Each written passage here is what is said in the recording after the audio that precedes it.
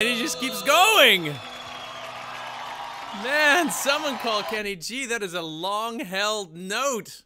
Hello and welcome back to the channel. I'm your host and pundit of Prelude, Ken Lavigne. I'm a singer and vocal coach here on YouTube, and today we are looking at Atif Aslam live singing a song, Pehli Nazar, the piano version. Um, I've never heard uh, Atif Aslam sing, but apparently he's got pipes, so we're going to check him out. But before we do that, I'd like to remind you all to hit that subscribe button and the notification bell so you don't miss out on any of the great stuff we produce here every week on the channel. Now, um, yeah, let's get started. All right. Uh, again, um, I know nothing about this singer, but He's been recommended, so we're going to give him a try. Let's have a listen here. Hmm. Piano. You can hear it in the background.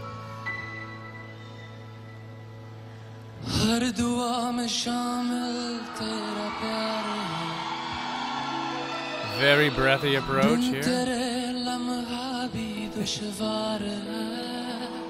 A lot of cell phones filming him. Hang on, hang on, hang. I just need to stop it right here. I'm gonna see if there's any closed captioning. No, there isn't. Um, the audio is a little distorted. Um, so I'm not sure this might be like a copy of a copy. It's not super clear, but his voice is coming in very clear here. Actually, I might just actually turn it down a bit.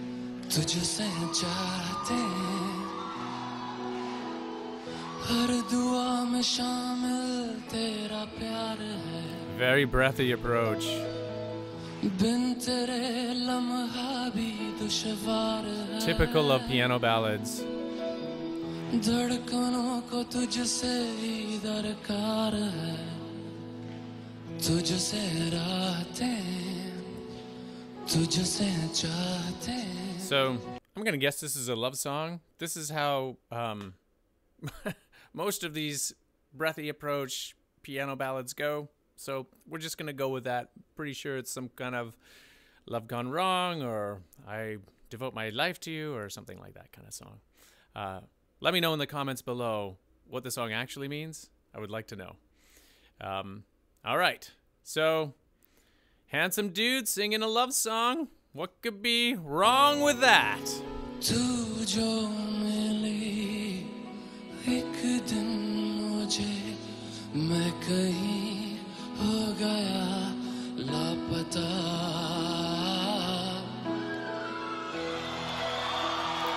Would like a little bit more tone at the end of that phrase there. But the the audience seems to know this song and they they are digging it. Look at all those lights around him. Sing with me. Sing with me.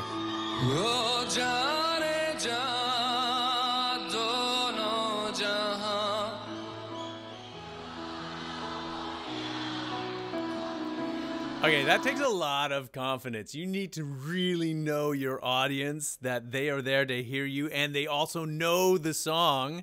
It looks like he's in the middle of like a boxing ring or something. It's not necessarily a traditional stage. You can see up top there it says grand finale. I'm not entirely sure the significance of that particular phrase above there. Maybe that's, I don't know, is that the name of his album or is that. Um, I should do a little bit more research before I dive into these uh, songs, but it seems to me that uh, this is uh, this is a, he's a, he's a very confident performer, and uh, the way he's singing this song right now, it seems like it's a very well known song. I'm the dummy who doesn't know the song. Okay. And we're getting a little bit more tone now from his his voice. We're getting a little bit more um, less of that breathy, wispy tone, intimate tone, and now much more into a, a, a, a much more supported tone.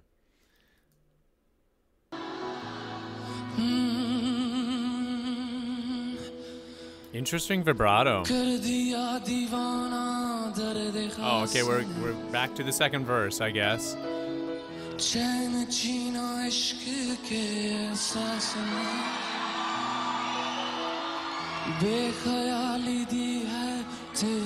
That, that's a security team right there, making sure nobody does anything crazy.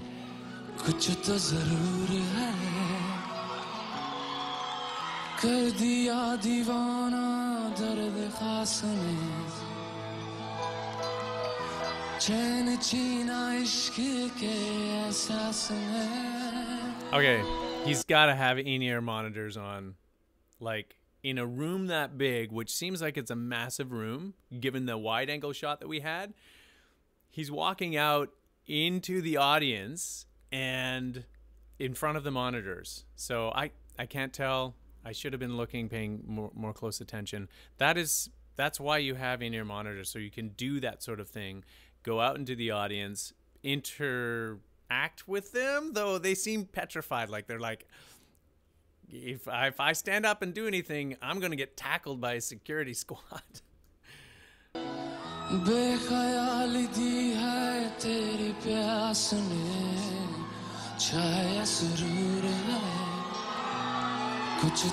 No, no in-ear monitor there.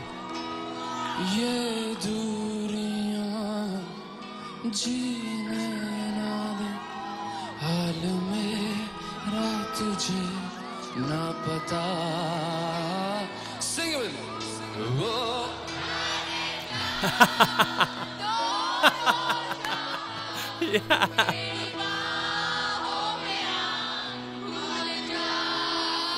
Oh man. Oh boy. Those girls are enthusiastic, but man, they sound terrible. Wow. I mean, I I love it. I love that he's like, "Hey, all right, we can all sing along." But uh they're just like screaming at the top of their lungs and totally off key. But it's it's cute. It's ador- it's adorable. It's adorable.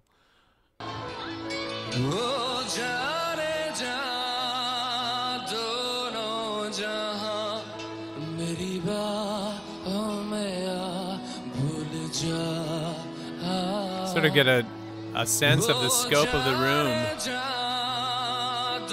Not a traditional theater. It looks like a conference hall or like a like a big box store or something. Where was this film?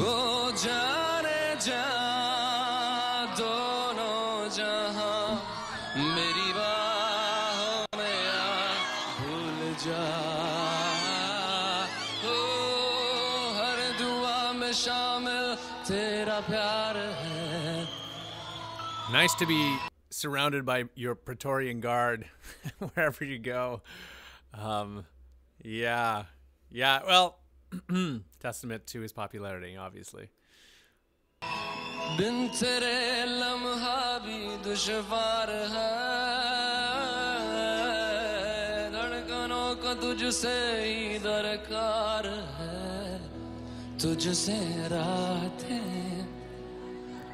Okay, I just want to focus in on something that he was doing here earlier. Interesting uh, vocal technique. It's, I would say it's a, it's not like your full throated, full throated, your connected sound. Um, it feels like it's a uh, a little bit a little bit sort of um, constrained, and um, this is interesting. Yeah, you hear that sort of uh, a little bit more constraint on that vowel? It's not as open as you would expect. It's like he's just uh, he's sort of drawing you in a little bit. It's in- interesting, interesting to me. Uh, interesting choice that he's making there, or maybe he doesn't have a choice. Sometimes you get into a situation as a singer, you're in the middle of the song, something happens that sort of throws you out of your um, uh, your I, I don't know how how your vocal alignment, and you sort of have to make do. you have to sort of suppress a, I don't know, a burp or something like that. I don't know. Um, it, it happens. You're out there singing. You're doing a live thing, and it's it's not a studio where you can go back and just sort of redo the take and make it perfect. Um, but maybe this is how this song goes, and this is how he normally sings it. Uh, I don't know. That's you can take that with a that criticism or that observation with a hefty grain of salt.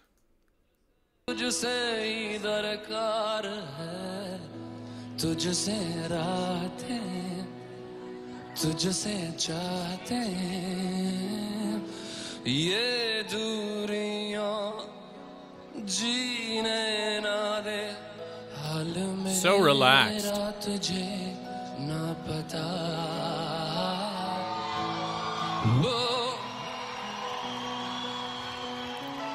He wants, he wants the audience to sing along.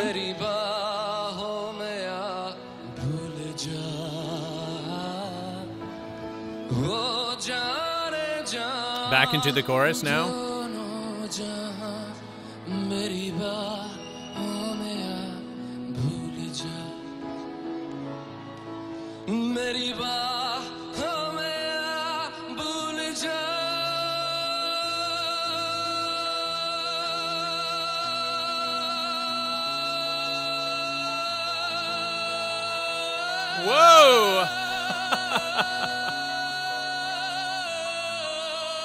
And he just keeps going. Man, someone call Kenny G. That is a long held note. Yeah. I don't know how long that was. That the that's what everyone was waiting for. They were all singing along. They knew it was coming. Ah, let's hear it again. Where does he start that? Back here?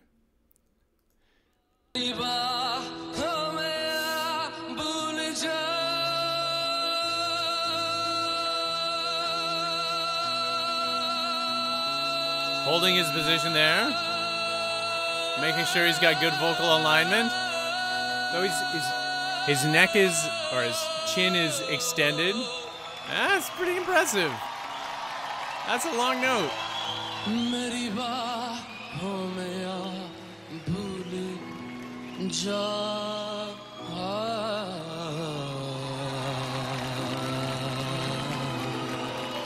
Interesting.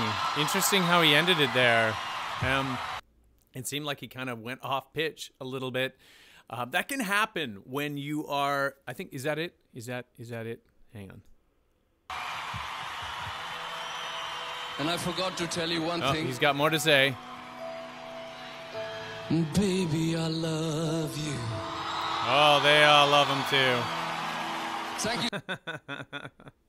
Okay, so that must be the grand finale of the whole night. I don't know. He went out into the audience there.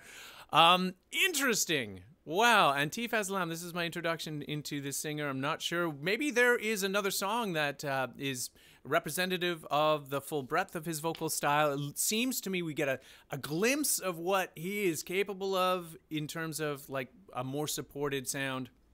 But I will say this singing in that sort of breathy approach for an extended period of time can be as vocally tiring as singing full out. Now, it's it's a different kind of vocal fatigue. Your body's fine because you're not using a lot of energy in your body, but your your vocal cords um, they can get stressed out by um, having them not properly properly occlude completely, meaning they don't come together um, in uh, vocal fold vocal fold adduction. This is something that many vocal coaches will warn against at, or rather uh, caution against.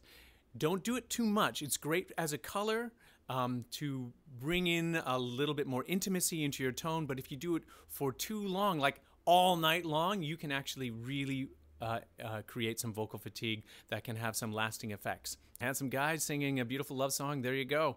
Um, so uh, let me know what your thoughts. Let me know. Did I miss the mark here, or is there more to mine here with Atif Aslam? Maybe there's uh, another selection that uh, I could look at and have a, you know, have a greater understanding of what his voice is doing. Um, if you're a young singer who's wanting to mine the depths of your own voice or uh, look at finding your own unique style, I strongly recommend you reach out to a vocal coach. There's lots of us out here in YouTube land. Um, best way to do it though is connect with a local coach. If you can't, um, you can connect with one of us. Uh, if you want to work with me, I'll leave a link in the description below. And yeah, if you have made it to the end of this video, thank you so much for watching, and we will see you next time. वो